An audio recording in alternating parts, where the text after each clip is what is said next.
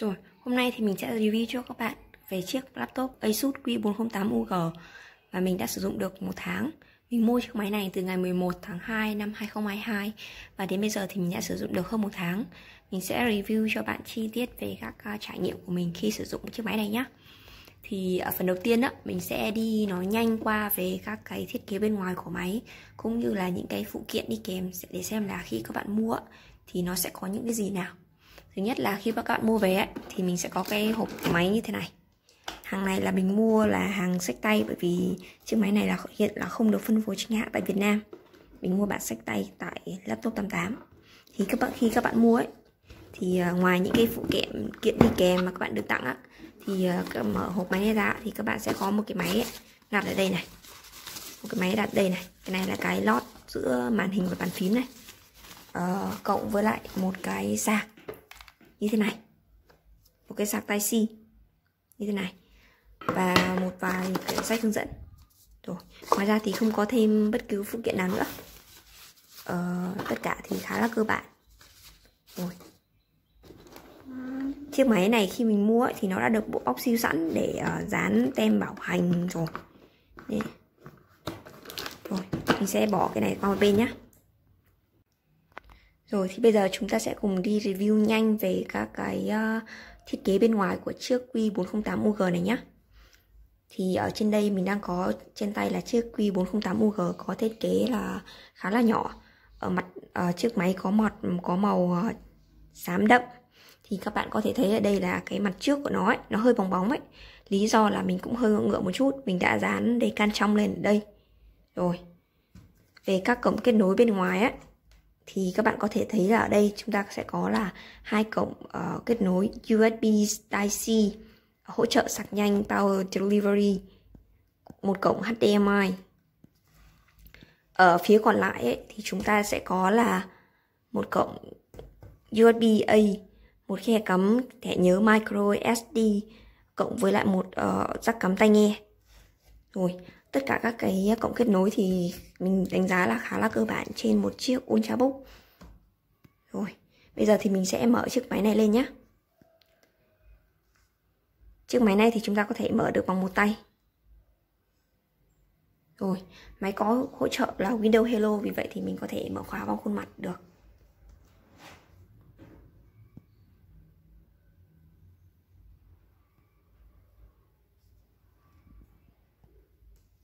Rồi, tốc độ mở máy thì khá là nhanh. Mình đánh giá là khá là ổn.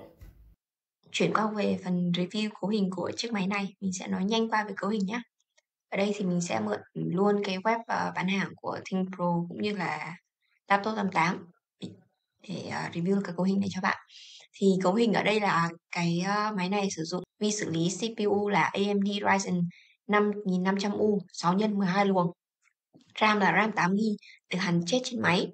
Bộ lưu trữ là thẻ có SSD là 256GB và có thể tối đa nâng cấp lên được là 1T card đồ họa thì sử dụng card đồ họa AMD Ryzen Graphics card MX 450 và màn hình ở đây là màn hình 14 inch độ phân giải là Full HD à, ờ, đặc biệt là màn hình này thì có tỷ lệ bao phủ màu đến 90% sRGB và có tấm nền IPS thì ờ, về cảm nhận của mình ấy, đánh giá trên chiếc máy này ấy thì, thì mình thấy màn hình khá là tốt trong tầm giá. Về uh, dung lượng pin ấy thì mình ở đây thì mình sẽ có một viên pin là 63 Wh. Thời lượng sử dụng liên tục khi sử dụng Microsoft Word thì ở đây đang nói là 7 tiếng. Thực tế khi mà mình sử dụng các tác vụ bao gồm là Photoshop này, Excel này, sử dụng lướt web này thì đâu đó là máy cũng phải duy trì được khoảng ờ, uh, 5 tiếng rưỡi đến 6 tiếng. Rồi, ờ, ở đây ở trọng lượng thì trọng lượng ở đây đang ghi là 1.15 kg. Tuy nhiên thực tế ấy, nếu các bạn cần ấy, thì nó sẽ phải gần 1.3 kg cơ. Khi mà các bạn mua máy thì sẽ có tích hợp sẵn là Win 10 bản quyền. Cứ mở ra sử dụng thôi. Rồi, ở đây thì các bạn có thể xem qua là hiện tại là khi mình mua là mình mua ở laptop 88 ấy là có giá 18 triệu 600 18 triệu 590 nghìn khoảng ờ, 18 triệu 6 thì hiện tại là đã được còn nó mới giảm xuống được bây giờ còn có khoảng 18 triệu. Còn ở bên ờ, uh, Think Pro thì vẫn đang khoảng 19 triệu. Thì các bạn có thể cân nhắc để uh, mua. Rồi, bây giờ thì mình sẽ test thử xem là phần mềm Adobe Photoshop thì chạy như thế nào trên chiếc uh, Asus ờ, uh, Q408G này nhé.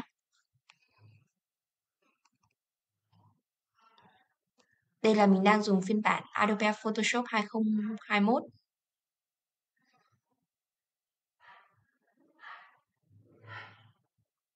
Ở đây thì mình sẽ mở một cái file gần đây mình đã mình đã làm.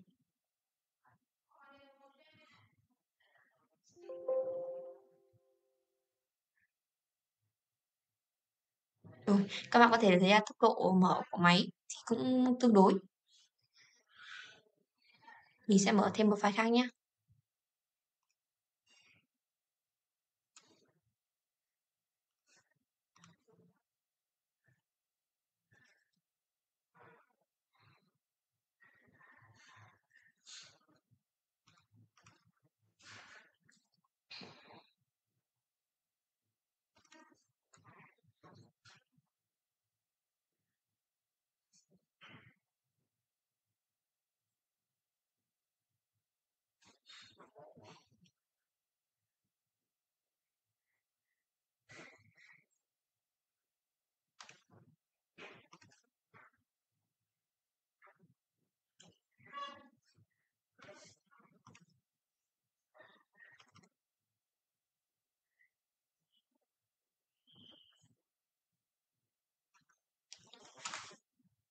Rồi, ở đây là mình đang mở ba tab của Photoshop.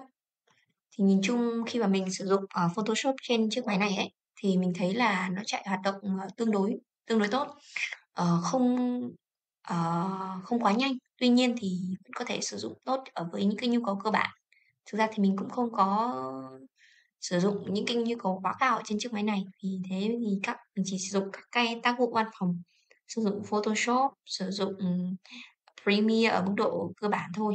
Mình cũng không có làm gì nặng nề trên chiếc máy này và mình thấy là nó đang đáp ứng tốt nhu cầu của mình. Mình nghĩ là sau này nếu mà mình có sử dụng uh, các phần mềm nặng hơn hay là render video dài hơn thì mình sẽ phải cân nhắc đến một chiếc máy tính uh, cây. Uh, khi mà mình đang uh, sử dụng uh, phần mềm này lên ấy thì uh, ngay lập tức là cái quạt tản nhiệt ấy nó bắt đầu chạy và thực ra là nó chạy rất là nhẹ thôi nó không có tiếng kêu nhiều đâu. Rồi mình sẽ mở Task Manager để các bạn xem nhé.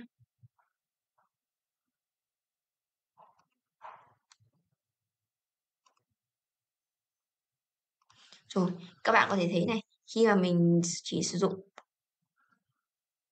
Photoshop và mình có mở thêm một phần uh, Active Presenter để ghi lại record lại màn hình ấy thì uh, RAM của nó đã ăn hết 77% rồi.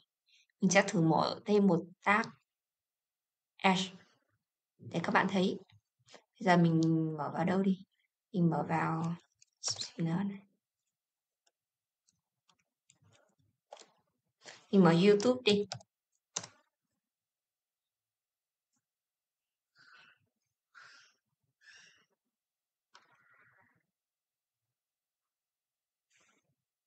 Sinh ra quà to thế kỷ. Giải đặc biệt xe hơi Mazda.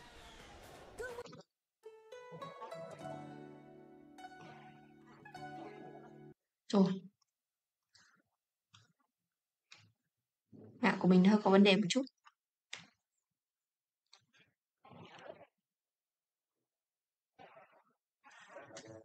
Đó, cho mạng mình hơi có vấn đề nhé.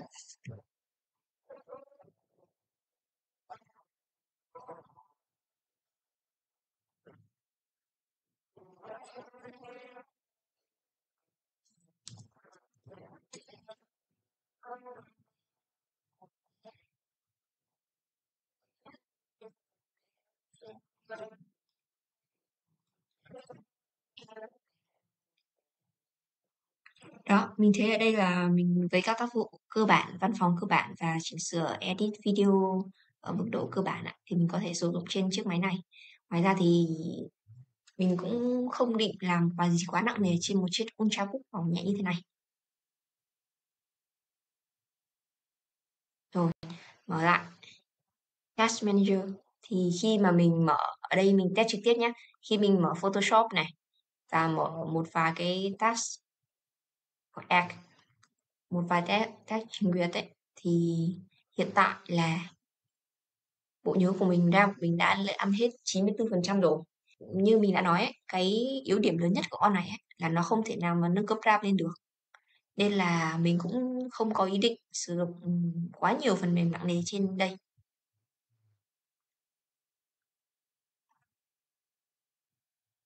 Trên đây là những chia sẻ của mình sau hơn một tháng, mình sử dụng chiếc laptop Asus Q408UG này. Thì các bạn thấy như thế nào nhỉ? Liệu các bạn có lựa chọn chiếc laptop này không? Nếu các bạn có thêm bất cứ câu hỏi gì hay muốn test thêm vấn đề gì trên chiếc laptop này, thì các bạn hãy comment phía bên dưới giúp mình nhé. Chào tất cả các bạn.